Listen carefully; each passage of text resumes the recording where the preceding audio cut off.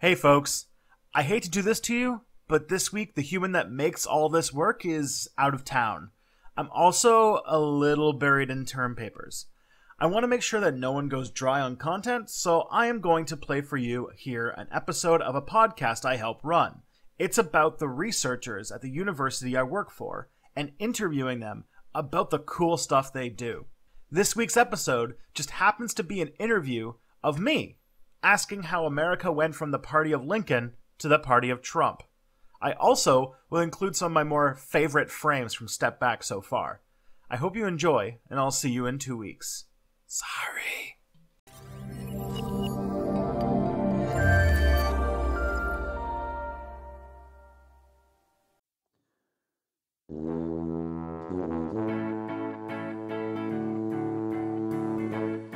Welcome to GradCast, the official podcast of the Society of Graduate Students at the University of Western Ontario. Coming to you from the other London, let's start the show. Hello, and welcome to the Western University Society of Graduate Students official podcast called GradCast. Today, we have a special conversation with our very own Tristan Johnson. Dun, dun, Hey, everybody. Glad to be uh, a guest once again. We look forward to we look forward to hearing more about your work. So, if you don't know, Tristan is our grand poobah, if you will, our commander in chief, our chair of the committee, the first in our hearts and minds. Uh, not to mention producer, tech guy. Um, he- I think he hauls, he is hauls the gear around. Oh yeah, I mean, So, I I could have helped, but I didn't today. yeah. I also go by Dear Leader and Glorious Leader and um, Exalted Leader, E- Eternal leader, I believe, leader. is Yeah. the Yeah. Eternal Party Leader of the Grand Communist Party of Gradcast. the Shiny Happy People's Grand Communist Party of Gradcast. You, right? you do, you, you do have the red mic today. Oh, there you go. Well, it's of that's a great segue. great segue into our topic of today. So, Tristan, you have quite a few things on your plate, uh, research-wise, and today you're going to talk to us a bit about. This is an interesting topic. This is very relevant to Oh, what's very going on today. Very timely. Uh, I don't know if anyone's out there has heard of the American Republican Party. I mean, I think there's some guy there makes some bunch of claims. Oh, lots of guys. Oh, lo- uh, they're mostly guys. Let's Well, be they're all honest. guys now. Yeah. Oh, they are guys. Yeah. Well, so Tristan, what what do you study when it comes to this Republican of parties? So uh, this whole like show idea came together because I very recently was putting together a lecture for our uh, History 2301 American History, like all American History class, on the 1970s and the conservative issues that rose to kind of lead to um, the election of Ronald Reagan in 1980, which is not my, my, my, my actual area of research is about September 11th and memory and technology and all this kind of stuff. But uh, came to me and said that um, he and probably many people out there have some nagging questions about just what the hell's going on with the Republican uh, race because it's been uh, quite a train wreck to watch for the last few months or last year actually we're getting close to a year since it started Oh yeah. my gosh. and the it's like the most cinematic like i can't i don't remember a because i've watched now like probably three presidential elections three or four and i've never seen one that's this well watched and so a lot of people are like kind of confused as to what's a primary what's a caucus and also who the hell is Donald Trump and why is this happening? Why, why, why is this Kafka's nightmare becoming to reality? Um, and I thought there'd be a lot of questions out there. Yeah, definitely uh, guilty as charged. I do know next nothing about American politics, except what you know um, online social media tells me, and you know what little I remember from my grade schooling. Uh, so basically, my question that's one of the questions I had that sort of spurred this special edition, I guess, is how in the history did um, How you know in the history? How in the Oh. history did uh, y- y- the, the Republican the Republican Party, the the party of Abraham Lincoln, the great emancipator, the guy who famously you know freed the slaves and kept the United States forcefully together through civil war, uh, and is credited with a lot of fairly progressive you know policies and um, stuff. How did how did that same Republican Party become come to a place, a timeline, the, the darkest perhaps timeline, uh, where Donald Trump stands a legitimate chance of winning the presidency of the United States. All right. Well, that that's a mouthful. Um, it, it, it's a good it's a good question because yeah, um, when people think of the Republican Party, like if you look at the Republican Party of even Teddy Roosevelt or or or Lincoln, that the Republican Party is known for being progressive and all of these really great things, and, And, sort of you northern as well. Yeah, is that right? nor- Because well, they, yeah. I mean, a lot of the, the, the separatists were like Southern Democrats, if I understand correctly. So if I so if we're gonna go back, yeah, let's talk about like the end of the Civil War. Uh, the Oh, boy. Party. Let's go back. The, the Democratic Party is in shambles because yeah, the Democrats in the South. Uh, were the governments responsible for secession and the Confederacy and all those things. And so the Democratic Party is this Southern racist party. And they will rise again. Is that right? Uh, let's not get into that. I'm sorry. So More like the Phoenix. So after Abraham Lincoln was assassinated, they had this guy named Andrew Johnson, and Andrew Johnson really screwed up um, the the moment because the idea of like progressive and conservative wasn't really a thing yet, and so at this time. People had uh, the the main issue was about slavery, and the main thing that they got in big fights about was like tariffs and weird things like that. Uh, whether or not America should be on the it, you gold know. standard. It These are the yeah. kind of political issues they had of the day. And so uh, the Democrats basically uh, were wiped out in the South for like a very short amount of time. And you actually had in like the late um, 1860s, like black legislators getting elected in the South Oh, wow. with the Republican Party. And then uh, the Democratic states finally, through intimidation, race, intimidation, and violence, suppressed black voters in the South, and the Democratic Party basically took over.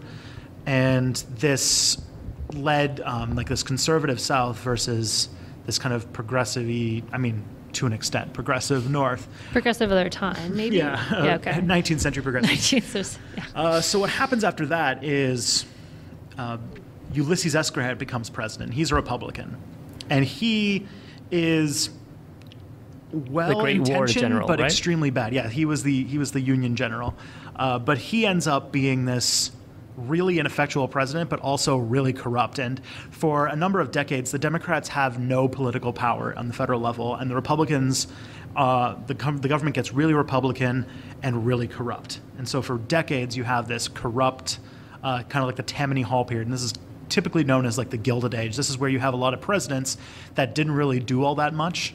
This is like pre- presidents like Grover Cleveland, or not Grover Cleveland, sorry, like uh, Garfield. Garfield, yeah. President Garfield, President McKinley, Mm-hmm. all these presidents you probably haven't heard of.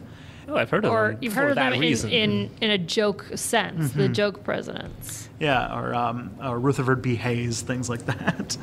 And what happens is that Teddy Roosevelt becomes president after McKinley's assassinated. Assassinations make a big difference. Um, And and Teddy was Republican. He was a Republican, right. but he was upset with the way that the corrupt um, laissez-faire, which means not non-government, non-economic interfering uh, party, was going, and so he broke up the biggest companies in America. He told Standard Oil to break into five different companies, and that's how we have a lot of like that's how we have Exxon and and uh, Esso and all those companies that have now all re- remerged, but. Um, That's a whole other podcast. Yeah. and so um, he gets known as like the trust buster. And after he is done being president, he hands it off to Taft and goes off to kill animals in Africa for a while. Well, we should mention Teddy Roosevelt. Uh, I'm going to put in my two cents. Was also the leader in creating parks. Yep. That's a. I'd say that's sort of a progressive right. Well, to thing. preserve animals, so he to, to kill, killed them later That's on, true. right? But again, another podcast. Yeah, he was also uh, imperialist. He was uh, warmonger, racist, all of those things put together. Um, what happens though is Taft is the leader of the Republican Party, running for, and he runs for a second term. Roosevelt comes back, and he really hates the way that Taft has like turned the Republican Party into this conservative party. And so Roosevelt uh, Roosevelt makes his own political party. It's called the Progressive Party, or nicknamed the Bull Moose Party. So, was this the time that republicanism and conservatism have kind of been used together? The first time was during the Taft era, or I mean, there's like this is like a point where like the term conservative doesn't have much meaning at this point. Like everyone is kind of conservative, uh, just that like the Democrats are more aligned with the interests of like farmers and Southerners, while like Republicans are focused on the interests of like industry leaders, bankers, those kinds of things. Like that's the main. In- they they're, they're they're almost more focused on specific interests rather than like grand political philosophies. So it's a lot of it basically based on economic factors rather than sort of social, political kind of things. The main the main issue they fought over was tariffs, whether or not Right. you have high tariffs so that it's um, you can make a lot of money off of manufactured goods in the north, or low tariffs so that farmers in the south could sell their goods to the international market easier. It's literally like it's just like that. um, but when Teddy Roosevelt runs on the Bull Moose Party as this like progressive, like this idea of the government getting involved in the economy he- and and ha- making things better for workers, supporting unions, things like that, which is a very novel idea at that time. The Repu- uh, all of the Republicans who are kind of Teddy Roosevelt Republicans leave and join with um, with Roosevelt or with Roosevelt. The Democrats uh, t- uh, make an alliance with a party, the, the Socialist Party at the time, or the Socialist Party runs at the time, and so that split vote leads to the election of Woodrow Wilson in 1912. And what this does is it makes um, Woodrow Wilson also campaigns on progressive ideals. Everyone is, is trying to like fight to take over this new progressive movement, basically. And uh, Woodrow Wilson wins and puts in a bunch of progressive stuff. And so the Republicans are now in opposition to the Democrats, who are the spokespeople for the progressive movement. Does that does that all make sense? Wait, so the Democrats are the spokespeople now for the progressive movement. Is that where we're at? Yeah. Okay. Although So the- they're, they still represent the South, and that, Right. that's why uh, from that point on, the Democrats are playing this really interesting game where they have to balance like Northern progressives and Southern progressives, but who are also racist. And this becomes a big deal because in the 1950s, when the civil rights movement starts happening, um, and uh, after Eisenhower's done being president, and we get President Kennedy, who's a Democrat, he has to. I'm, I'm like skipping forward tons of history because we're like really limited on time here. Um, so, so Kennedy has to, or starts to become more sympathetic towards civil rights because before then it was like um, like how in the 80s there were gay people in both the Republican and Democratic Party because both sides really weren't paying that much attention to them. Uh, then when the Democrats came to help gay people, or at least uh, became pro-gay uh, in the 2000s, then you have this like escape of like there's not many gay people in the Republican Party anymore. That it's it's kind of a similar situation.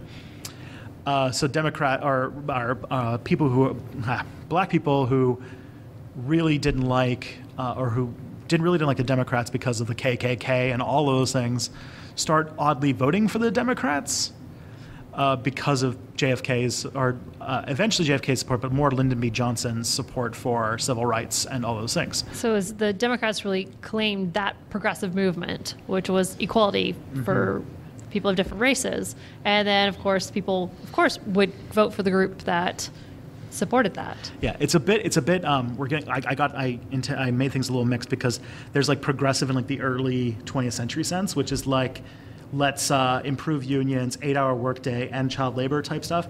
And then there's the progressive term we use today, which is really just using liberal, but we don't like we're using the word liberal anymore because it's a dirty word in American vernacular. So, uh, and that it comes out of like the depression and things like, or that comes. Um, out of like Nixon type stuff too. So yeah, we've we've reached nearly the point that you have just talked about recently, which was the Nixon Reagan era and the new conservatism. Yeah. So in the 1960s, uh, with Lyndon Johnson, the Democrats, when he when he signed the Civil Rights Bill, he said, "We've sold the South to the Republicans for a generation." What he didn't know is it was going to be way longer than a generation. Uh, and shortly after, when um, Johnson's going, or when Johnson's running for president, he uh, gets uh, there's this independent run by a man named George Wallace, who's like uh, Alabama governor, who's a Democrat but pro segregation. And he basically pushes, uh, he gets the whites in the South who were typically like still for the New Deal, liked social programs, but they were very racist, and says, and gets them kind of courted into the realm of or of uh, conservative ideas. And then um, when the Republicans run uh, Barry Goldwater, the same thing happens. And uh, when Barry Goldwater runs, and from basically night, or when Barry Goldwater fails running for president against Johnson, but then when Nixon gets elected from 1968 onward, the South is Republican. And that incorporates all of the political issues of the South into it. So it it kind of sounds like uh, it's more of a geography uh, ideal than the name of the party because the name of the party doesn't really stand for anything. I, I always found it was funny that Republican means the people ruled.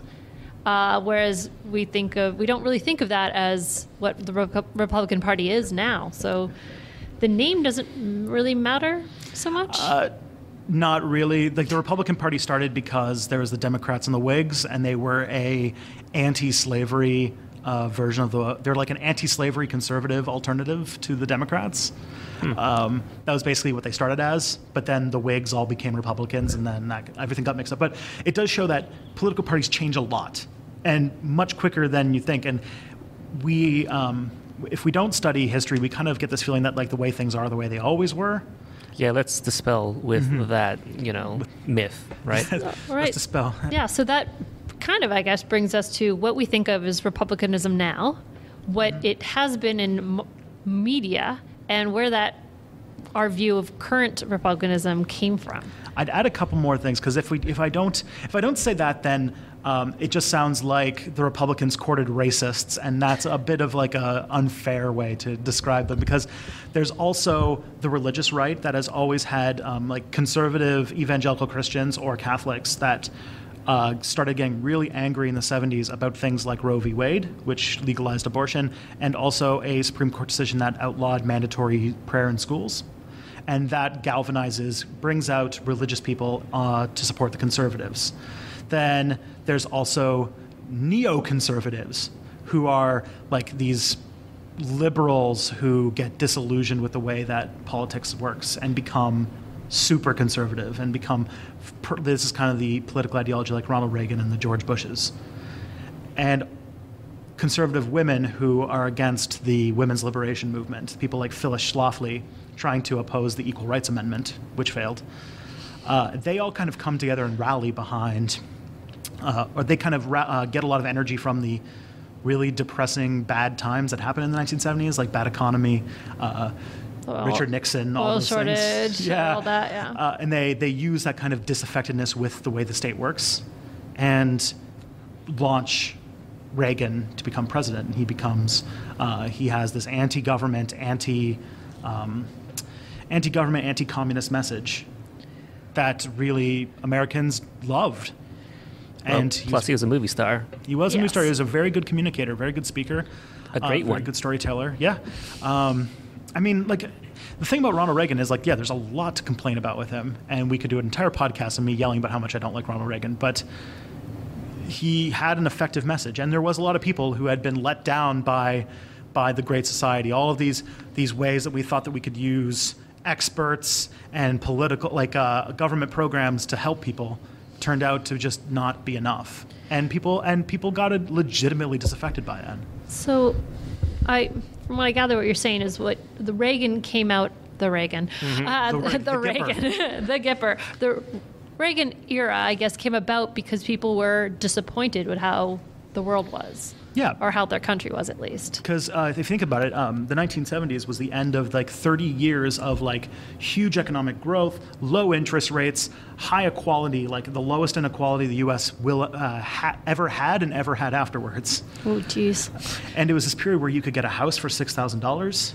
Uh, you could move to the suburbs, own a house, and raise 2.5 kids without getting a university degree and all of these things. And so people, What they call the American dream. yeah, it, it's really this is the time that when people talk about the great past in America, they're usually going back to this period, the 19.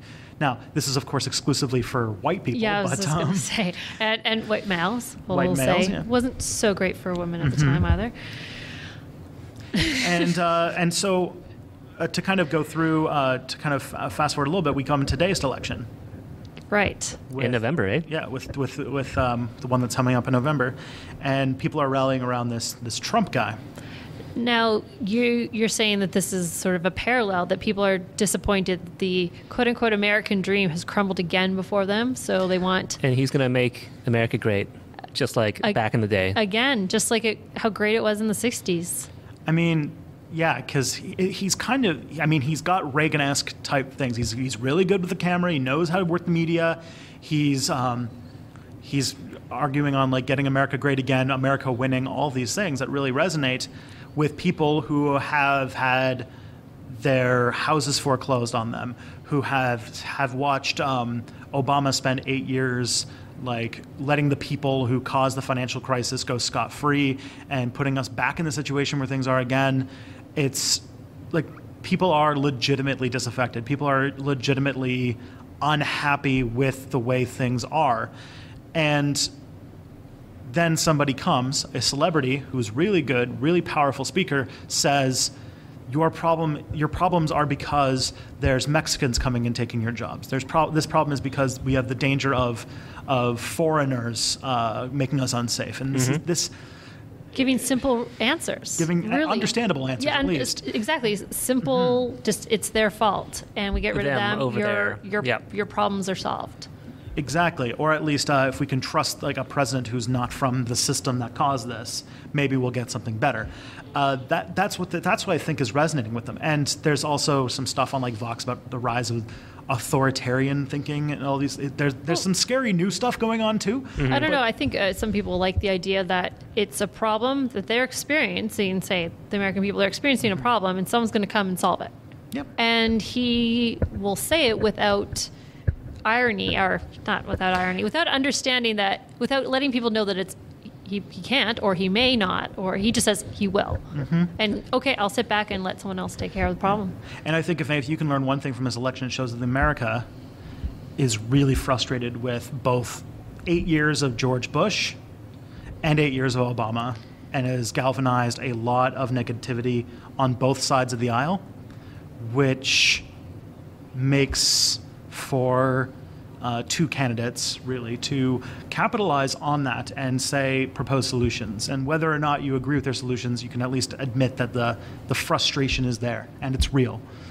And I don't want to take that away from them. But on the other hand, using this emotion to push scapegoating and totalitarian ideas is really scary because this is this is how fascism happens, and so uh, it's really scary.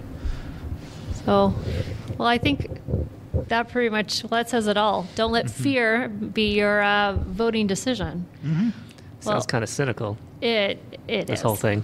Yeah. Mm-hmm. But Obama did say though, uh, the person who who campaigns on optimism will be the one who wins in the long term. And I, I I don't think there is a candidate who's doing that anymore, sadly. I- I- well, I mean, winning sounds pretty optimistic. sounds that- great. That's that's fair. And I absolutely, wholeheartedly look forward to, uh, you know, having Mm-hmm. our supreme overlord, Emperor Trump, in the I- near future. I love that you are uh, like a real life troll. Just you are. It's Uh-huh. great. Well, I think that's all we've got time for today. Mm-hmm. Um, thank you so much, Tristan, our, our overlord, and uh, thank you, Given. Eternal leader. Oh, eternal leader. Make Gradcast great again. Make Gradcast great again. Yes, it's been Gradcast with Yemen Chen and me, Susan Anthony. Thanks so much for joining us. Thank you. Vote Trump. That's all we got for this week. If you like this episode, share it with someone. Check us all out on Twitter and Facebook. Both you can find through Gradcast Radio. You can go to our website to see more episodes at gradcastradio.ca. And if you want to come on the show and talk about your own research, great line for your CV, go to gradcastradio at gmail.com. The theme is Happy Boy by Kevin MacLeod, and we will see you guys next time.